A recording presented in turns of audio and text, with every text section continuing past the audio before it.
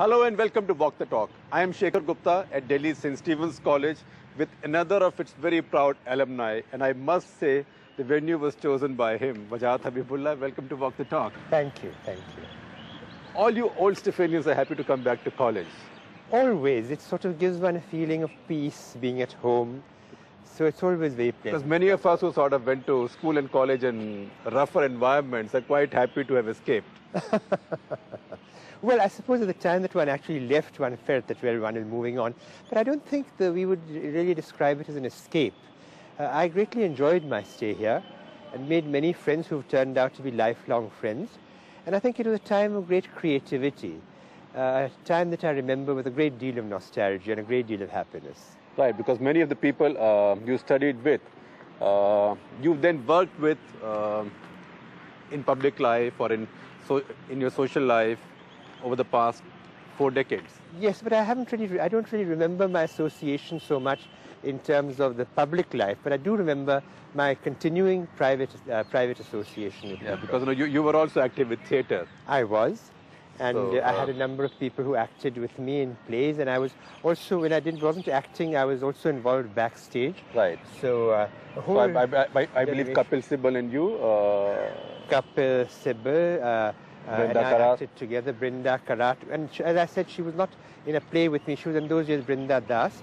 We weren't in a play together, but I was somewhere working in backstage and things like that. Uh, Radhika, uh, now Roy. Radhika Roy. Uh, var- various people. We worked together, Shailaja Chandra, who was former Chief Secretary of Delhi, uh, and uh, Manju Dubey, uh, her sister Anita, now Anita Shori. We were all uh, together in this. But you know, uh, maybe there, maybe there's a little lesson there because Wajahat Habibullah made a habit of playing a role backstage very early.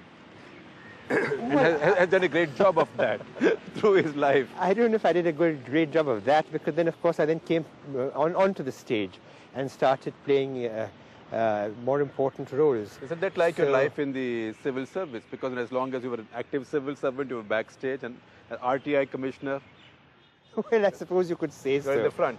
I don't know if I'm very much in the front, but I try to remain backstage. But you're right.